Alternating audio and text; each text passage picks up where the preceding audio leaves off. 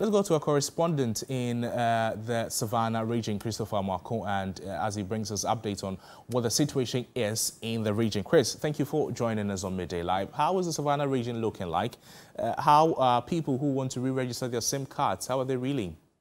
Yes, so uh, Crosby, the issue is that the SIM card re-registration exercise has uh, halted in uh, some parts of the Savannah region. Talk about uh, the Northeast Gonja district, the East Gonja municipality, the North Gonja, uh, Central Gonja, and other places. Uh, this is because uh, of the directive by the National Communication Authority to the mobile network operators to extend the registration exercise to some uh, places. So as at Sunday, registration has stalled in some uh, these parts of the uh, region. So uh, customers who come to re-register their SIM find it difficult to do so because when they come, they are told that um, they should come next Monday to see if uh, the exercise will begin again. So as you can see in the background, this is one of the this is supposed to be one of the registration centers, and a lot of people have been coming to ask uh, whether or not they could register their SIM card today. Unfortunately, uh, they are being turned away and asked to come back next week Monday. And according to uh, the customers, it is really uh, difficult for them because they have left their villages and workplaces to come here only to be told to go and return on Monday. Mm. Now, in the statement released, uh, it, added that the mobile network operators uh, are to take urgent steps to, one, increase the number of agents or staff undertaking the capture of stage two of the exercise and opening up additional registration uh, points, as well as increase the number of devices they're using. Do you by chance have witnessed any improvements from the MNOs themselves?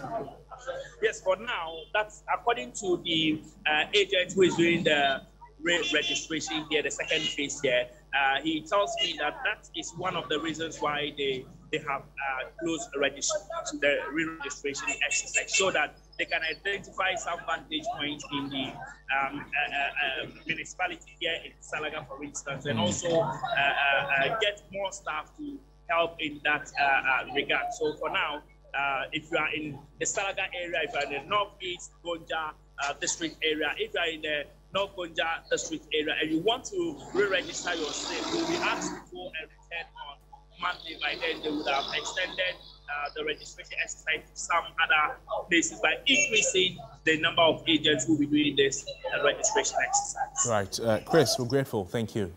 Christopher Marco is our correspondent in the Savannah region. Let's take you to the Ashanti region, where, but for network challenge that is causing delays in registering of SIM cards. Some telecom subscribers say the registration process has now improved. The usual congestion at some of the telecom offices for the registration exercise appear to have reduced following the deployment of more registration officials to fasting the process. The long queue at the various telecom offices continue to build up as subscribers race against time to register their SIM card. The Ministry of Communication has given up to March 31 for all subscribers to register their SIM card or forfeit it. But today, we've seen some level of improvement with the registration exercise, especially at some of the offices. Here at the MTN office at Maxima, it is being done in an orderly manner.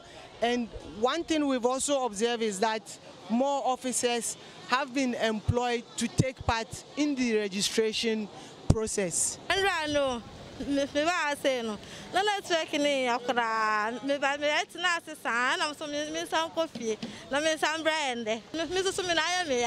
maalaanta saacadire ahana taakanahay fitisa laas wiiki onomno nonana taakanaya koraa. Ɛnkɔ anim bate sɛ adeɛ ɛkɔ anim kakra nkakra.